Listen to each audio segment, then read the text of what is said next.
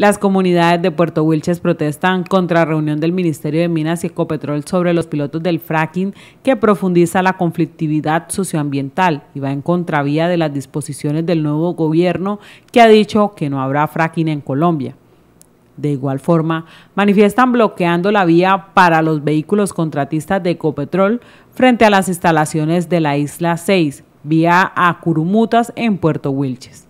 La protesta se da por parte de varios campesinos de la vereda Santa Teresa exigiendo a la empresa Ecopetrol pavimentación de vías, alcantarillado, agua potable y en sí mejores condiciones de vida.